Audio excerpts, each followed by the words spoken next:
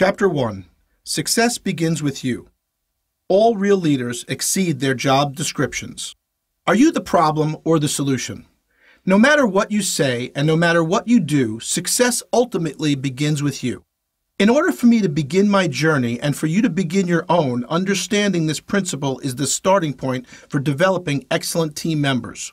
The good news is, once you understand this, you'll be in control of your destiny. A number of years ago, on my birthday, which is October 6th, I was reading the horoscope in the New York Post. This has been my personal ritual for more than 30 years. This time it was different. My life had taken an incredible turn when my wife of 10 years, Jackie Klein Goodman, passed away after battling cancer. I had to make some life decisions, some easy and some more difficult. My 50th birthday horoscope was a life changing and profound statement. I actually had it framed and hung it in my bathroom. I look at it every day as a reminder of who really is in control of our destiny. If you want more freedom, then it's up to you to take it. No one is going to hand it to you on the plate. What is it that you want to do with your life? Then get on and do it. The only permission you need is your own. New York Post, October 6, 2013. This spoke to me in many ways, especially when it was time to decide what was really important about being a leader, making my mark on the planet, and leaving a positive leadership and life legacy. I decided to look at things a little bit differently. I heard about a goal setting technique that many leaders used. The idea behind it was writing your own obituary. Think about what you want people to say about you after you have left the planet. This seemed like a perfectly good idea to apply to leadership and what you want people to say about you as a leader after your professional business career is finished. I call this the leadership epitaph. Your leadership epitaph. Try imagining this scenario. You've been a boss for more than 20 years, managing many employees in different positions throughout your career. You walk into a busy restaurant and suddenly look over and see one of your former employees.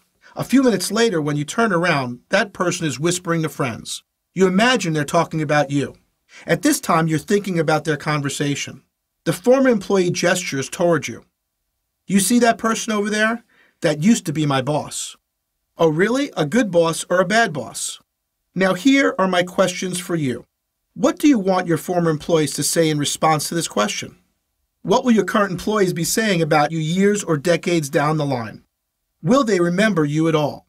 And if they pass you on the street, will their immediate recollections of you be fond and admiring or negative?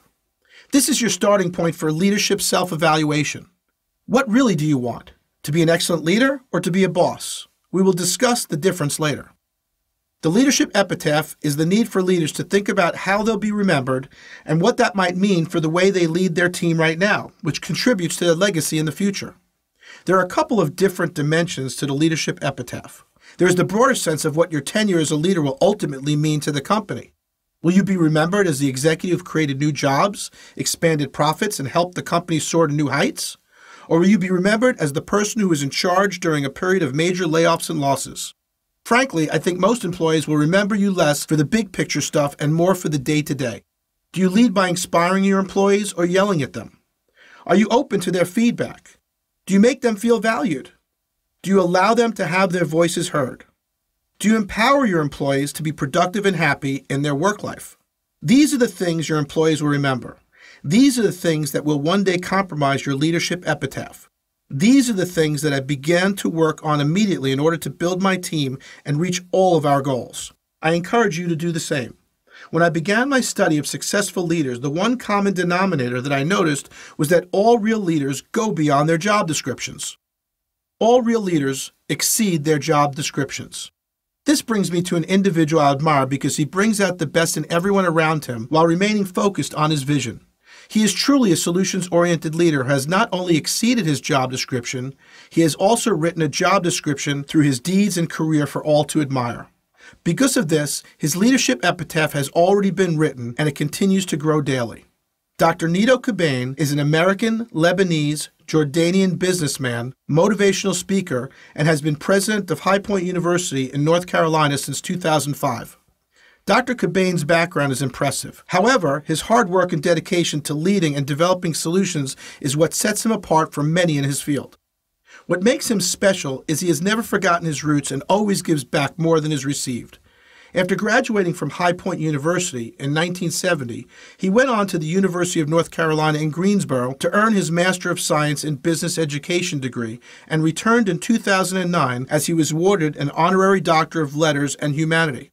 More importantly, a leader leaves an epitaph by taking action and developing solutions to problems that can stand the test of time.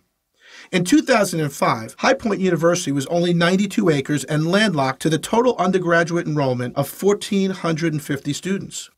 The university's operating budget was only $38 million with approximately 100 faculty members. In 2017, High Point University undergraduate enrollment reached 5,000 students, a 245% growth, had a 203% increase in full time faculty. The buildings on campus went from 22 to 112, with an over 409% growth. The operating and capital budget increased to $290 million, a 663% increase. With the creation of new schools, majors, and courses, Dr. Qubein created a remarkable variety of learning opportunities for the students to embark on a new world and also become solution oriented leaders. High Point University's ranking soared from number 17 in 2005 to number 1. The university was named the number one regional college in the South for 2019 for the seventh consecutive year in America's Best Colleges by U.S. News and World Report.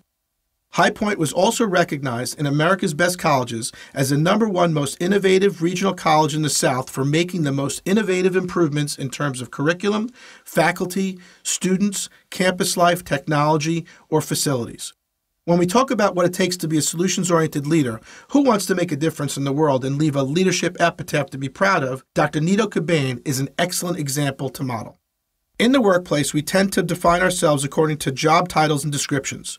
Our title establishes what we do and what we're in charge of, what our responsibilities are, and what's outside our obligation. Our job title defines what we need to do and what's frankly not our concern. It lets us know when we are fulfilling our obligations and, perhaps, when we are truly going the extra mile. As I've studied successful leaders over the past 30 years, one of the common denominators is that they all exceed their job descriptions. In fact, many of them create their own job descriptions by going the extra mile in doing whatever it takes to get the job done and complete the goals and objectives of the organization. So, what would happen if you didn't have a job description? What if you arrived at work one day and there was no longer any hierarchy? No way in which the members of your team were categorized. Would it be disastrous? Would it mean that work would grind to a standstill? Or would people step up to do whatever it took for their team to succeed, regardless of whether it was truly their responsibility or not?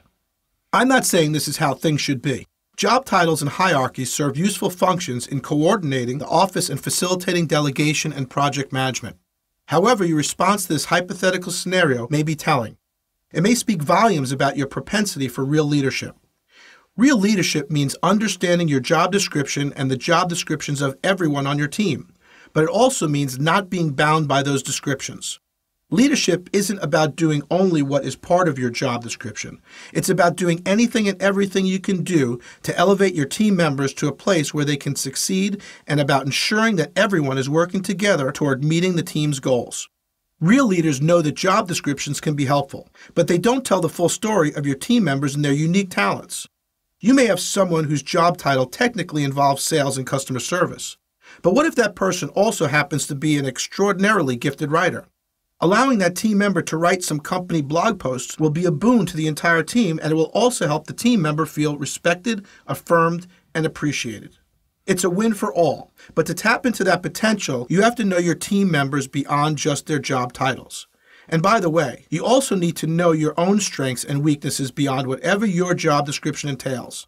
Leaders who are willing to earnestly assess and appraise themselves and to know where to be hands on and where to delegate, separate themselves from the rest of the pack, and quickly develop followers. This may mean coloring outside the lines of your official formal job description. And if it does, then so be it. Leadership means understanding your team, its members, and its goals, including but not limited to the titles that people hold. One technique I use to determine what my employees are doing is to have them write down their own job descriptions. This has allowed me to discover if my employees were on the right path in fulfilling their goals and objectives. It also gave me the opportunity to expand the parameters of their job, to focus on the highest and best use of their talents to reach their potential, in addition to reaching the company's goals. If you were like me, when you were in school, there were many leadership courses offered. In fact, it might have even been your belief that the best leaders were the loudest individuals in class. I've also met many people who thought that people had to be extroverts to be effective leaders. When I started on my journey studying leadership success, I found a great discrepancy with my belief system. It was based on many false references within our culture.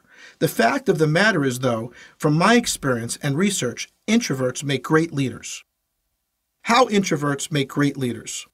Unfortunately, it's been my experience that we live in a culture that closely links extroversion with leadership. Now, I'm a bit of an extrovert myself, but nevertheless, I have to say, as an international keynote speaker and leadership coach, that some of the best, most effective leaders I've seen have been introverts by nature. When we assume that brashness and loudness go hand in hand with decisiveness, we do so at our own peril. One of the main things that holds introverts back, I think, is the perception that those who are quiet, even shy, cannot make commanding figures. That misconception keeps many introverts from reaching their true leadership potential, but it doesn't have to. Consider the following four tips that you can use if you are an introvert to break through those perceptions and turn your introversion into an asset, not a liability. Number one, remember that listening, not talking, is the mark of a really engaging leader. The best leaders aren't necessarily the ones who talk the most. Often they're the ones who actively listen, truly engaging with the team members, colleagues, and customers before offering solutions. Introverts tend to be well poised with their active listening skills. Number two, remain calm during times of crisis. When things get rocky, brash, and loquacious, leaders can often fly off the handle, but introverts can be the voice of reason. Use that to your advantage. Seize crisis as opportunities to provide stable, steady leadership. Number three, force yourself out of your comfort zone.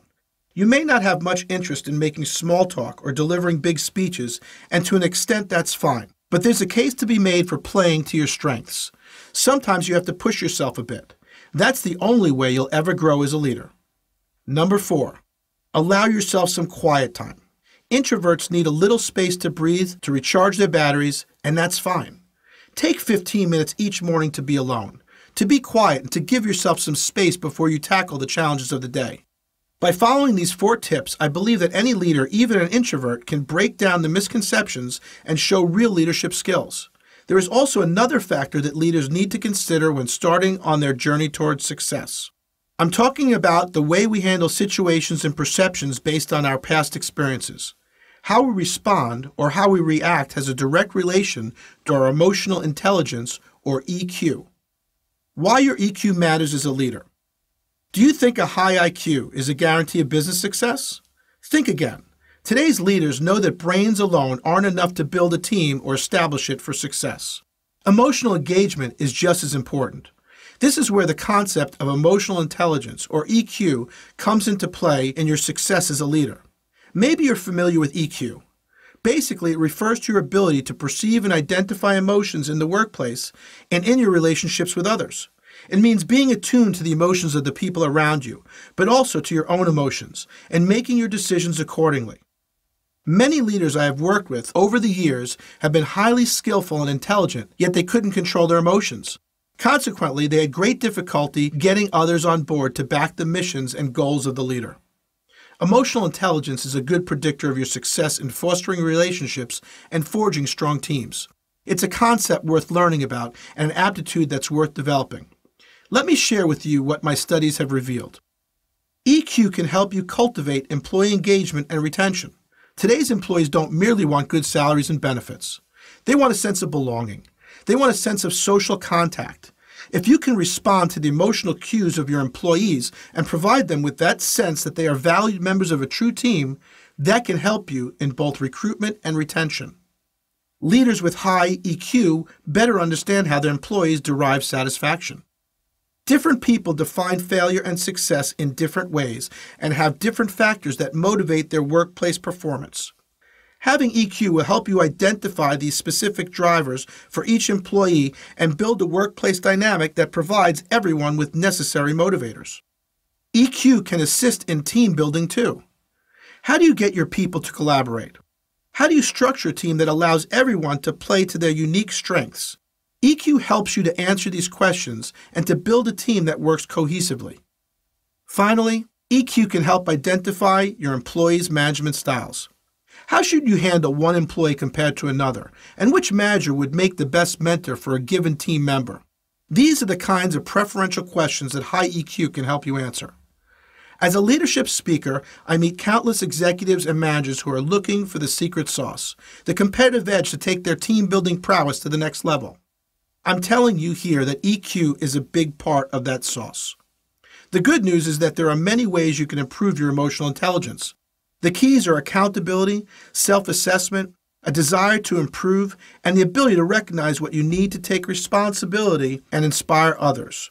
Once you do that, you will know that you are inspiring your team by paying attention to the seven traits of inspiring leaders. Seven traits of inspiring leaders. My first book, Living a Championship Life A Game Plan for Success, contained a quote of mine that I live by. Located on the first page, it reads Leaders motivate and inspire. They relentlessly create the vision and set strategies for action. Their ultimate gift is not to have followers, but to develop many other leaders. Of course, you may be asking yourself, Am I a great leader? Do I have the hallmarks of what it takes to be truly inspirational? A self inventory is necessary to know for sure. However, to help you gauge your own leadership capacity, there is one thing I have noticed on my journey to success when studying some of the greatest leaders in business and in sports. There are specific signs or traits that you can look for to determine if you're inspiring your team or just hoping for the best. I have identified seven traits of inspiring leaders during my personal journey to improve my own leadership skills, to retain my employees, and achieve the maximum productivity and happiness quotient we can have in our business. The list of seven traits follow. Number one, perfecting a sense of purpose beyond your own success. Wanting to achieve great things on your own terms hardly makes you a leader. No. Leaders are folks who measure their own success by the success of others. They see it as their mission and purpose to help their team members thrive. If your purpose is to empower, you may be an inspiring leader. Number two, approachable. Do your team members feel comfortable approaching you with questions, concerns, or feedback? Or do they tremble at the very thought of entering your office? If you're intimidating rather than approachable, that's a problem. Number three, open minded. Great leaders are open to whatever works, even if it's not their own idea. Do you actively court solutions and suggestions from your team members and implement the ones you think will work? Inspiring leaders do. Number four, candid and constructive. Inspiring leaders give the gift of feedback. If your team members actually accept your constructive feedback and make changes to their performance, that shows their respect for you and that you're trying to help them improve. Number five, treating your employees with equality. Favoritism and inspiration do not work together. If your employees feel like you prefer some of them over others, that ultimately reflects badly on your leadership style. Number six, being grateful. Inspiring leaders are thankful for the efforts of their team, and they're not afraid to say so. Number seven, focus on your team. If you're happy to give credit to team members rather than hog it all for yourself, then you definitely have some inspiring leadership traits. Take stock of yourself and use these points to determine how inspiring a leader you are already. You may even surprise yourself. Remember one thing teams go where you go. Your team will always take on the attitude and traits of its leader. My good friend, branding expert and frequent Fox TV business personality Bruce Turkel wrote a book titled All About Them Grow Your Business by Focusing on Others. If we are to lead people, we have to focus on people first in order to be truly inspiring. I have a saying if you give to get, you're even. If you give expecting nothing in return, you're ahead of the game. Success begins with you. So if you want to succeed as a solutions oriented leader and turn your team into future leaders, focus on how you can support your team to achieve their goals, and you'll achieve yours at the same time. The Solutions Oriented Leader, written by Rick Goodman, narrated by Rick Goodman, published by Sound Wisdom.